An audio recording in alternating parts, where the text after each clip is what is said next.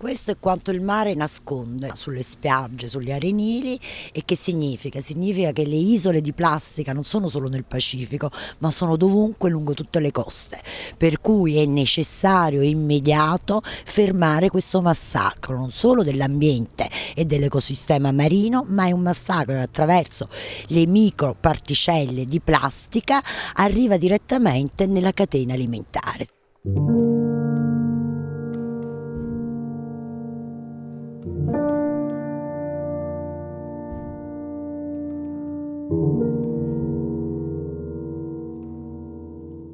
La forte mareggiata dei giorni scorsi ha completamente ricoperto di detriti l'arenile della spiaggia di Rotonda Diaz, sul lungomare di Napoli.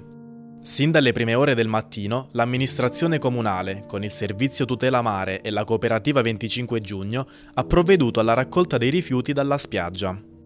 Gli addetti alle pulizie sono stati impegnati per tutta la giornata nella rimozione del materiale rinvenuto ed in particolar modo della plastica e del polistirolo per restituire decoro a tutta l'area.